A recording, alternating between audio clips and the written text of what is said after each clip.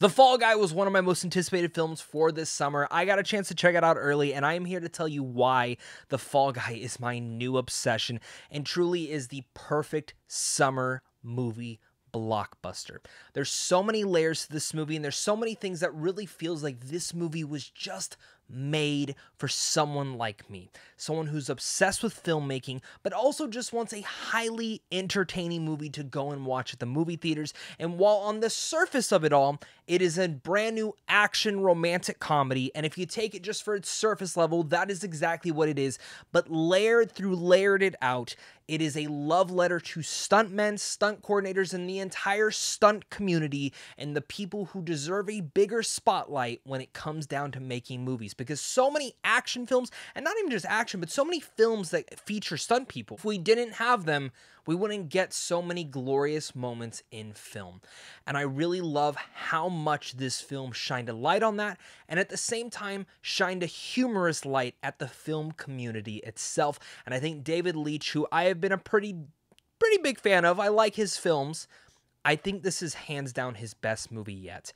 And I think if you've liked his previous movies, you're probably going to love this one. And if you've just eh, thought his films were okay, you're probably going to really like this one. This is just one of those instantly likable films that I am so excited to talk about. Again, my new obsession. So make sure to leave your thoughts down below, hit that like and subscribe. And if you don't know what The Fall Guy is about, well, The Fall Guy is about after leaving the business one year earlier, a battle scarred stuntman, Colt Seavers, springs back into action when the star of a big studio movie suddenly disappears. The mystery surrounding the missing actor deepens, Colt soon finds himself ensnared in a sinister plot that pushes him to the edge of a fall more dangerous than any stunt. Again, directed by David Leitch, stars Ryan Gosling, Emily Blunt, Winston Duke, Aaron Taylor Johnson, so many people.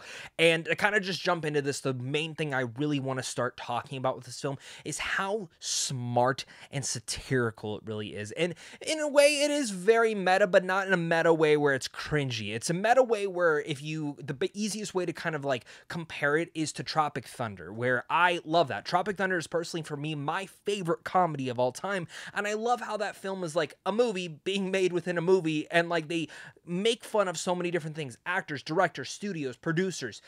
And in a way, the Fall Guy is able to touch on that, but also not in a snarky way. They're able to tell it in a loving manner and show how important stunt people are. And every single layer of that I thought was clever. I also thought it was clever with the movie that they were making in this indie universe is very much a snark at Dune, but I love that it is that snark at Dune and the way that they play off that aspect and even how it kind of parallels to our main two characters' relationship and how that comes off as well. Even though it's this big, funny sci fi epic that Emily Blunt is directing in this movie, you can see the relationship between the two main characters in that film and how it pairs to this. Even one thing that a producer mentions in this is like, you know, when I make these films, it's always one big metaphor right in the middle, all wrapped right into here. It's kind of what David did here as a director.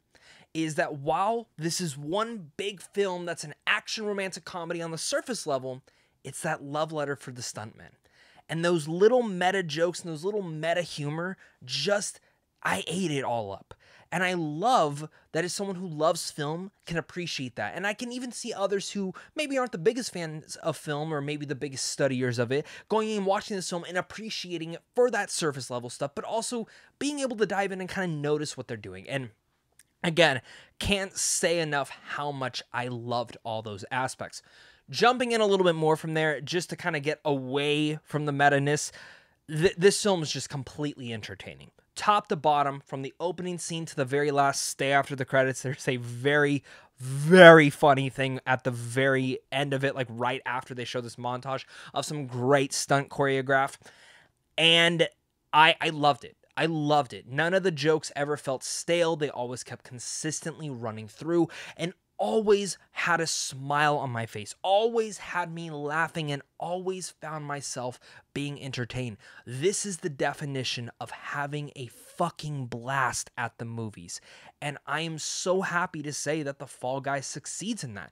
And specifically, one thing that I have actually criticized David in the past of, really happy to see what he accomplished in Atomic Blonde and Bullet Train when it comes down to action. But some films I've always felt that the action just feels a little bit either too much or not enough. And Fall Guy finally really gives me some damn good stunts. Makes sense that like we would have some of the best stunts. In fact, one of the stunts in here actually broke a world record. Referenced that in the movie itself, and it was cool to see it referenced in the movie. And as well, if you go and look it up in real life, it was referenced in real life and really did happen. The action in here is top notch. The hand-to-hand fist fights, all the funny little things, and the way that they use stunt men. Because you see, like Ryan Gosling, you're like, this is just stunt guy, but he is the badass behind the scenes making these stunts work on the movies. So when he actually has to fight someone who knows how to fight, he's gonna know what to do. Even if he's using a prop gun. Yes, a prop gun filled with blanks. He's gonna know what to do with it. It's those little things that again make every moment entertaining. The film's never too overly serious, it's never always heavy. It always makes you and brings you in. But the center of it, like I mentioned, it might be a love letter. It's also a romantic comedy. And a romance and a romantic comedy really needs to work. Not just due to the chemistry, which Ryan Gosling and Emily Blunt absolutely have, but their relationship, you have to build upon it. You have to instantly fall in love with them and you have to want them to get back together, specifically when you meet them at a point when they are broken up. And the entire time, instantly when they reunite for the first time very early on in the film, you want them to fall back in love. Just from the small little subtle dialogue you can see where the two characters are coming from and you want them to make it work out. And there's constant scenes that build and build upon this. One that's a split screen scene with both of them acting in two different locations, and the play on dialogue in there was just top notch. But again, added to this. Alongside that, there's one where she just keeps making him do the same stunt over and over and over again. And it all ties back into their relationship. Watch this film with my wife, and I would look over at her, and she's smiling, I'm smiling. She'd laugh at the same thing, I'd laugh at the same thing. And the second we got in the car, we just consistently kept talking about all these fun moments. And it's one of those films that you just have to experience. And again, it is the perfect date movie, also the perfect movie to kick off the summer. Got a little bit of everything, and I think that's where David really accomplished something great here. Finalize a couple other things. Yes, Ryan Gosling is great. I think this actually might be one of my favorite roles, probably top five, and that's saying a lot specifically because of how many great roles he's had, whether it's in First Man, Crazy Stupid Love. Of course, you look at the likes of La La Land and what he did last year within Barbie. It's right up there with them. You also look at Emily Blunt, who is just irresistible in here. You can see why he fell in love with her, and she plays such a great piece in here. And Taylor Johnson is such a douche in here, and I adored it. I loved it. He was funny. I wish there was a little bit more of him. I always mispronounce his name, but Hannah Waddingham. I loved her in Ted Lasso. Thought she was a lot of fun in here. And Winston Duke, yes, finally so happy to see him again in a movie. I feel like like ever since us, like he hasn't gotten that limelight, that stardom, and he absolutely should because he shines in every moment in here as well. And to mention this right off the top, the film that they're making in the movie is called Metal Storm, and while it is definitely definitely a riff and play off Dune. I highly, highly wish this that's exactly what I wanted Rebel Moon to be. Now I'm even more disappointed in Rebel Moon. Honestly, if you're just looking for a great time at the movies, The Fall Guy is that. It's my new obsession. An incredibly entertaining action rom-com that rocked my world. I cheered, I laughed, I smiled, and most of all, I had a fucking blast as I mentioned. The perfect movie to kick off the summer season. Gosling and Blunt are everything. I'm not joking when I say this. Give me 10 more. I will actually lose.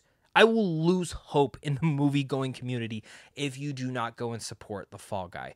It's again, on the surface, a fun action rom com and a perfect date movie and a perfect movie to kick off the summer season but it's also a love letter to the stunt community. It's a love letter to filmmaking, and it's a love letter to, again, an aspect of filmmaking that we really do not pay attention to too much. And again, that is shined on as well as the Oscars, who still have not given credit in an awards. They even mentioned that in this movie. The Fall Guy was everything I wanted it to be and more. I think a lot of people are going to be truly obsessed with it just as much as I am. So with all that said, I'm going to give this movie an A. Thank you so much again, guys, for watching this. Make sure to hit that like subscribe button. Go check out Into the Geekverse on Spotify, iTunes, and YouTube. That's my brand new podcast. One new episode a month for different topics all around. And other than that, guys, thank you so much again for watching this. And of course, until next time, stay classy.